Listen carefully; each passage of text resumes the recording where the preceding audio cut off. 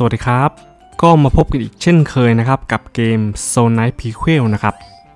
สำหรับคลิปวิดีโอนี้นะครับก็จะเป็นไกด์แนะนำอาชีพ Heretic นะครับก็จะเป็นนักเวท summon ธาตุไฟ ซึ่งเป็นการผสมผสานกันนะครับระหว่าง Animancer กับ Pyromancer นะครับก็เป็นอีกอาชีพหนึ่งที่น่าเล่นนะครับ ก็เล่นง่ายหาของง่าย การเล่นนั้นไม่ซับซ้อนนะครับ แถม damage ที่ทำได้โดยรวมนั้นนะครับ ก็ไม่ด้อยไปกว่าอาชีพ meta ในปัจจุบันแน่นอนเลยนะครับ ถ้าหากว่าใครนะครับที่ชอบเป็นนักเวทสายไฟ ก็ลองมาเล่นสายอาชีพอันนี้กันดูนะครับ อันดับแรกนะครับเราจะมาดูวิธีการเล่นกันก่อนเลยนะครับ เนื่องจากเป็นนักเวทธาตุไฟนะครับ damage หลักๆ ที่ได้มาก็จะเกิดจาก damage ธาตุไฟเป็นหลักเลยนะครับ ซึ่งเราก็รู้ดีกันอยู่แล้วนะครับว่าธาตุไฟนั้นก็จะเน้นเป็นการเผาไหม้นะครับทำ damage ความเสียหายจากธาตุไฟ ซึ่งความเสียหายจากธาตุไฟนั้นนะครับ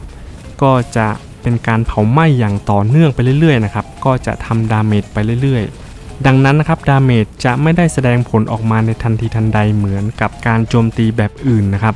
แต่การเกิด damage นั้นนะครับจะเป็น damage อย่างต่อเนื่องไปเรื่อยๆ แทนนะครับ ซึ่งเป้าหมายนะครับที่ติดธาตุไฟหรือโดนการเผาไหม้นั้นนะครับก็จะค่อยๆ โดนเผาแรงขึ้นไปเรื่อยๆนะครับก็ดังตัวอย่างนะครับผมจะลองทำการโจมตีใส่หุ่นไล่กาให้ดูนะครับ จะเห็นว่าดาเมจธาตุไฟนั้นครับจะติดที่หุ่นไล่กา และทำการเผาไหม้อย่างต่อเนื่องนะครับ การเผาไหม้นั้นค่อนข้างที่จะนานมากเลยนะครับ ซึ่งจะนานกว่าธาตุอื่นด้วยซ้ำนะครับ ดังนั้นนะครับถ้าหากใครนะครับที่ต้องการคิดจะมาเล่นอาชีพนี้แล้วนะครับแล้วอยากได้ damage แบบอลังการนะครับเหมือนกับอาชีพที่เป็น meta นะครับก็ต้องขอบอกว่าไม่ได้เป็นเช่นนั้นนะครับ damage ที่ได้ก็แรงแค่ระดับหนึ่งเท่านั้น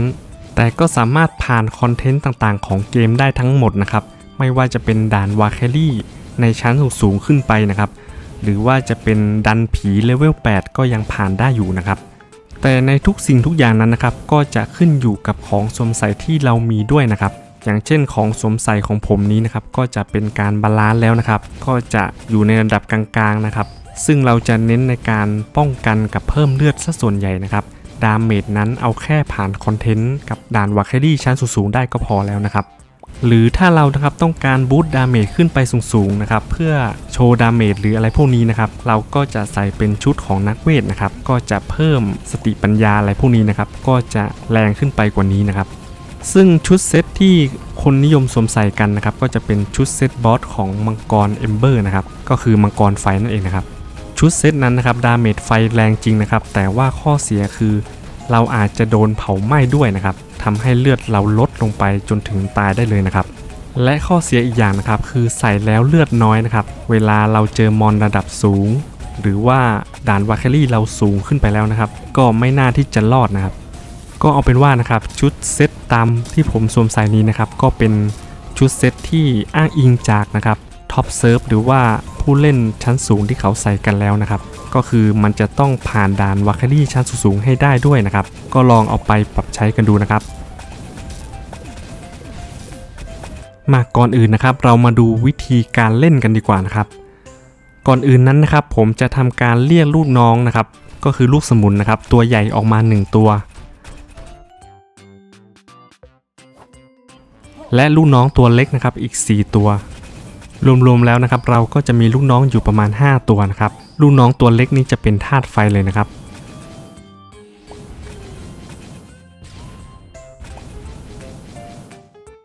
เมื่อเราทำการนะครับลองโจมตีหุ่นไล่กาดูนะครับ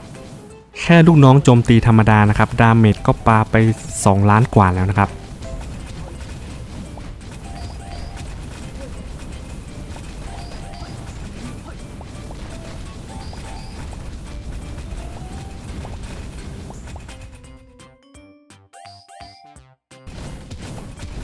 หรือนะครับหากเราลองมาใช้ skill งูดูนะครับก็จะเป็นการเรียกลูกน้องงูออกมานะครับ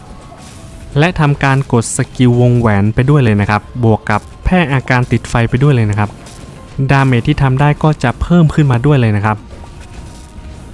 สำหรับการเรียกงูออกมานั้นนะครับ เราจะเรียกได้สูงสุดถึง 12 ตัวด้วยกันเลยนะครับ ถ้าหากเราปล่อยทิ้งไว้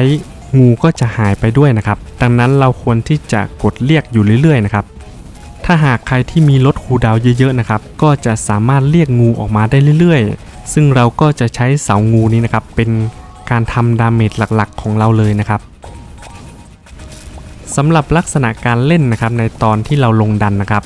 เราก็จะมีลูกน้องตัวใหญ่กับลูกน้องตัวเล็กนะครับ ที่ช่วยในการโจมตีคู่ต่อสู้ให้เรานะครับ แล้วทำการฟื้นฟูเลือดให้เราด้วยนะครับ ในส่วนของลูกสมุนตัวเล็กนั้นนะครับค่อนข้างที่จะตายง่ายอยู่นะครับ เราควรที่จะกดเรียกออกมาอยู่เรื่อยๆนะครับ ส่วนตัวใหญ่นั้นค่อนข้างที่จะอึดแล้วก็ทนกว่าตัวเล็กนะครับ ก็เรียกไม่ค่อยบ่อยเท่าไหร่ แต่สำหรับเสางูนั้นนะครับ ก็เรียกออกมาเรื่อยๆเลยนะครับเพราะว่ามันจะหายได้ไวมากนะครับ แป๊บเดียวก็หายแล้วนะครับ และก็บวกกับการกดสกิลแพร่ไฟนะครับกับวงแหวนไฟรอบตัวด้วยนะครับ skill พวกนี้ก็จะเพิ่ม damage ให้กับลูกน้องของเราได้ด้วยนะครับ ซึ่ง skill พวกนี้นะครับเราก็จะเอา skill ของ Vagary นะครับมาใส่ร่วมด้วยนะครับ ก็จะเห็นว่ามีการเรียกอัศวินไฟมาช่วยตีได้ด้วยนะครับสำหรับ skill ที่เราใส่ Vagary นะครับเดี๋ยวผมจะพาไปดูนะครับว่าใส่อะไรบ้างนะครับskill ของ Vagary ก็มีประมาณนี้เลยนะครับ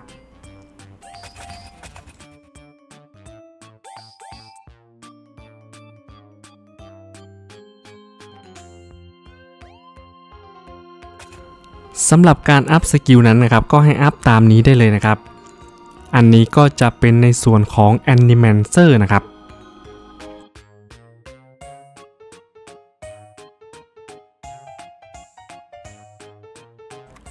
และในส่วนตรงนี้นะครับก็เป็นการอัพ skill ของ Pyromancer นะครับ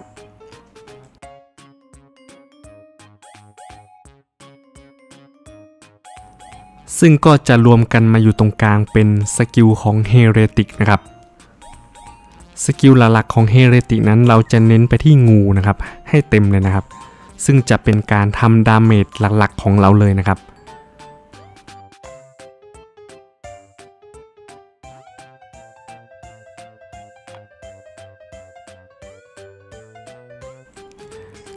และในส่วนอันนี้นะครับก็จะเป็นการรวมทั้งหมดเลยนะครับ ก็สามารถเซฟไว้ดูหรือว่าแคปหน้าจอไว้เลยนะครับ ก็อัพได้ตามที่ผมทำประมาณนี้เลยนะครับ และในส่วนไอเทมผูกชะตานะครับ ก็มีดังนี้ สมาธินะครับ 3 เกาะหนัก 3 อัญเชิญพันธะ 3 แกนเพลิง 3 และโล่พลังงาน 2 นะครับ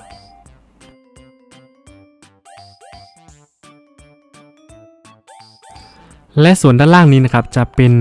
ลายนัดนะครับ อันนี้จะอยู่ที่อาวุธนะครับ ซึ่งความสามารถนั้นจะทำให้งูของเราสามารถยิงหลายนัดได้นะครับ และจิตวิญญาณ Ember นี้นะครับก็จะทำให้ความเสียหายไฟแรงขึ้นนะครับซึ่งในส่วนของ item ผูกชะตาของผมก็มีประมาณนี้นะครับ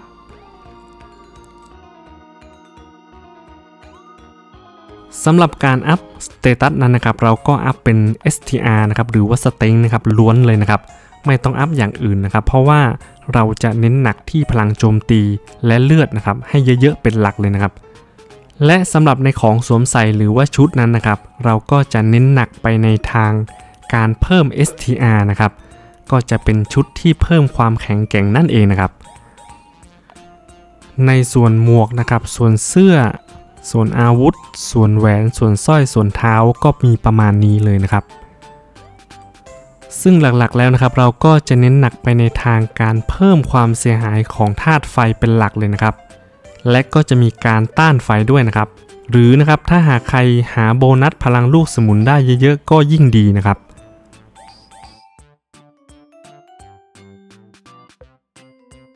ก็เอาเป็นว่านะครับก็เป็นแนวทางให้กับผู้เล่นใหม่นะครับหรือคนที่สนใจจะเล่นสายนี้นะครับ